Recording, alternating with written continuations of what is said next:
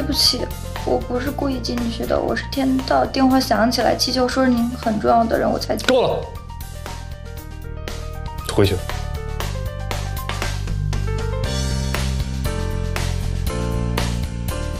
季小姐，喝茶。嗯，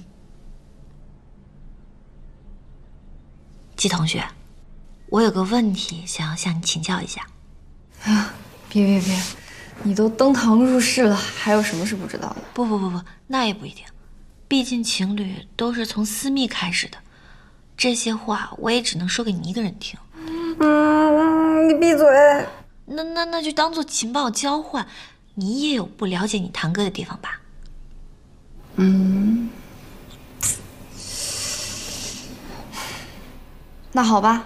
不过呢，我只回答你一个问题。嗯，就是楼底下那间不上锁的房间里到底有什么？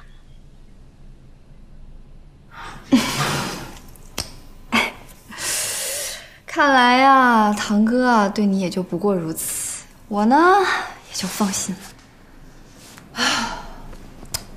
据说那个房子呢是堂哥的秘密基地，里面有什么别的我倒是不清楚。不过我知道里面有一部电话，电话，对，就是以前家家都会安的那种老式座机。堂哥从老宅搬过来就一直带着，我猜他是在等一个人。等谁啊？一个多年前就已经离开的人。哎呀这些年啊，人事全非。这个电话估计就是他们唯一的联系。堂哥有事儿没事儿就去那个房子里发呆，我猜他就是在等那个电话响。原来如此啊，像他会做出的事。你啊，也别说的好像太了解他一样。我认识他这么多年了，我都不敢说了解他。是啊，越接近这个人呢，越觉得迷雾重重，不知道这个人到底有多少副面具。你也是这么觉得的？嗯。哎，我跟你说，我之前差一点变成私生啊，都是被他给逼的。我拍了他那么多张高清照片，他就没有一张脸是崩掉的。这表情管理比爱豆还要专业。你说他至于那么端着吗？这个呀，我懂。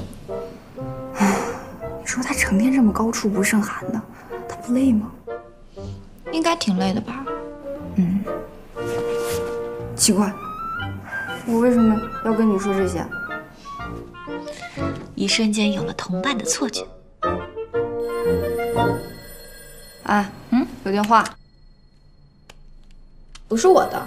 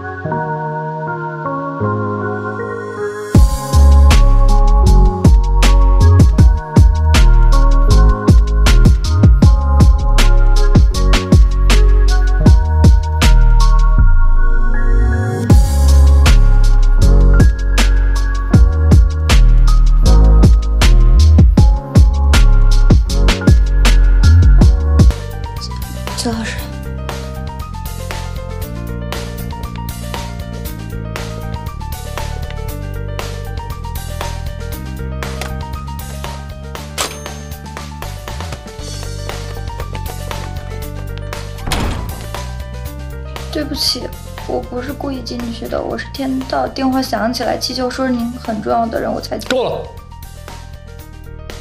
回去。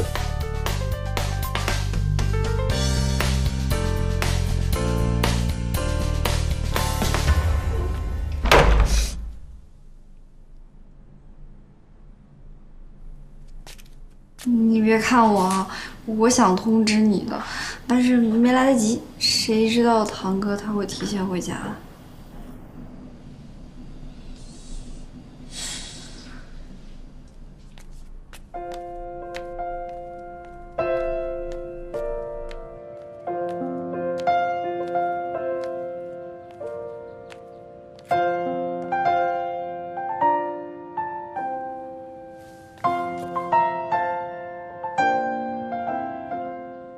真的连道歉的机会都不给我吗？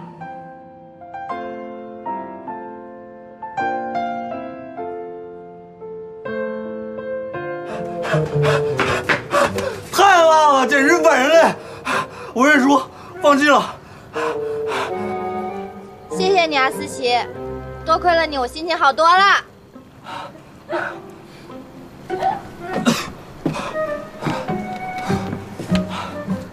本来嘛，也没有什么好生气的。欺负你那个人，现实中叫什么名字？我帮你出气。啊，不怪他，其实都是我的错。我还以为只有我哥那么讨人厌呢。造物主真是恶作剧哈！你哥有那么夸张吗？何止啊！我当时离家出走百分之八十都是因为他。现在因为补办证件又要跟他见面，烦死了。那他今天同意见你了吗？怎么可能？我一下午都在打电话，他根本不接。我还以为这么多年他有点改变，是我想多了。我去，辣椒后劲好大呀！啊，来来来，喝口可乐，喝口可乐，慢点儿。没事没事，今天开始我们告别舔狗，学会独立行走，千万不把自己的喜怒哀乐吸在另一个人的身上。所以狗子，让你那高冷的哥后悔去吧。